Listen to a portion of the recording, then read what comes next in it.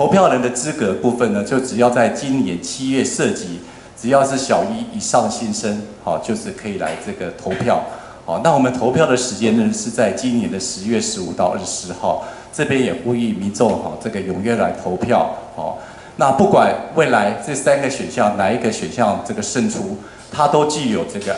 公民参与的独特的一个意涵。好，那也是未来我们这个全国第一座 iVoting 通过 iVoting 的这样的一个烟囱。那进到那个 iVoting 的网站的时候，在首页可以先点选我要投票。就可以进入投票。所谓数位落差的哈，那么比较年长的长辈哈，那现在我们也在各个区公所，对，好，区公所，我们在十二个区公所哈，那么也有指派专人啊，那么在那边期待这个平板电脑哈，那有兴趣的市民都可以，我们都会协助他们在区公所这边用平板然后来投票。呃，我们的投票的部分预计在十月底部分，我们就可以把案子整个定案。哦，然后另外我们其实我们这个工程其实这个原来就有同胞商在制作，所以我们预计整个施工之后在明年的二月完成。